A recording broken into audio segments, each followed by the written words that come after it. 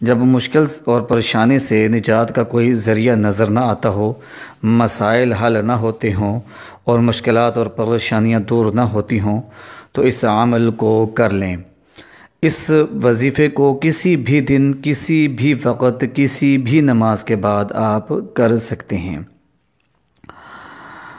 خاص طور پر رات سونے سے پہلے اس عمل کو کریں تو انشاءاللہ العزیز بہت جلد اس کا فائدہ ہوگا۔